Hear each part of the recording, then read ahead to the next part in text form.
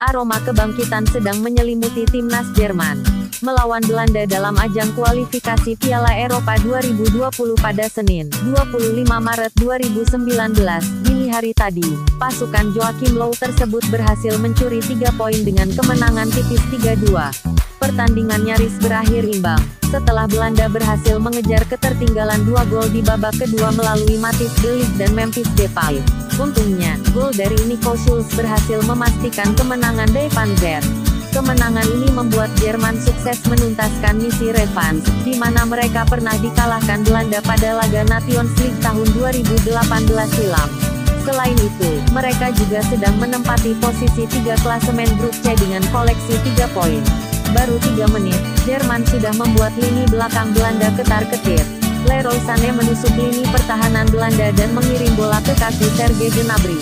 Penyerang Bayern Munchen itu lalu melepaskan tembakan, namun berhasil diselamatkan Jasper Cillisen. Serangkaian serangan membuat gol pertama De Panzer tinggal menunggu waktu saja. Benar, kedudukan berubah pada menit ke-15. Leroy Sané membubuhkan namanya di papan skor setelah berhasil memanfaatkan umpan silang dari Nico Schulz. 1-0. Gol tersebut membuat Belanda tertampar, dan langsung melancarkan serangan guna menciptakan gol balasan.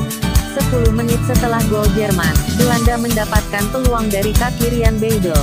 Tapi kesigapan Manuel Neuer membuat peluang tersebut gagal menjadi gol. Malah sebaliknya, Jerman malah menjadi unggul 2-0, di menit ke-34. Sergei Gnabry berhasil melewati penjagaan Virgil van Dijk sebelum melepaskan tembakan melengkung dari sisi kiri. Cilisen pun tak berdaya untuk menepis tembakan tersebut. Jelang berakhirnya babak pertama, Jerman bisa saja unggul 3-0, namun Cilisen masih cukup sigap untuk menghalau tembakan dari Leroy Sané yang berhasil melewati Van Dijk. Skor 2-0 untuk keunggulan Jerman pun bertahan hingga jeda. Perjuangan Belanda untuk menyamakan skor akhirnya membuahkan hasil. Tiga menit selang wasit meniupkan peluit tanda dimulainya babak kedua, Matis Delik sukses menggetarkan gawang Neuer dengan memanfaatkan umpan sepak pojok dari Memphis Depay. 2-1. Peluang untuk Belanda kembali tercipta pada menit ke-62. Sebuah umpan dari tendangan bebas menyasar ke Georginio Wijnaldum yang telah menanti di depan gawang. Tembakan first time-nya berhasil ditangkap oleh Neuer dan hakim garis mengangkat bendera tanda Wijnaldum telah berada di posisi offside. Peluang itu tak ada artinya, sebab Belanda berhasil menyamakan kedudukan pada menit ke-63. Berawal dari umpan Wijnaldum, Depay berhasil menyarankan bola ke gawang Neuer setelah melepaskan diri dari cengkraman dua bek Jerman. Skor pun jadi imbang 2-2 pertandingan tampaknya akan berakhir dengan skor imbang. Tapi itu sebelum Joachim Low memasukkan Marco Reus pada menit ke-88.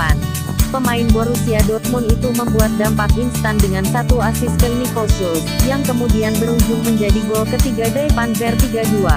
Tambahan waktu 2 menit jelas tak cukup bagi Belanda untuk menyamakan kedudukan.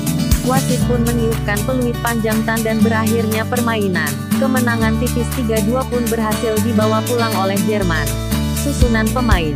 Belanda, 4, 3, 3, Jasper Cilesen, Denzel Dumfries, Matis Delik, Virgil van Dijk, Daley Blind, Martin Derun, Georginio Wijnaldum, Frenkie de Jong, Quincy Promes, Memphis Depay, Rian Babel.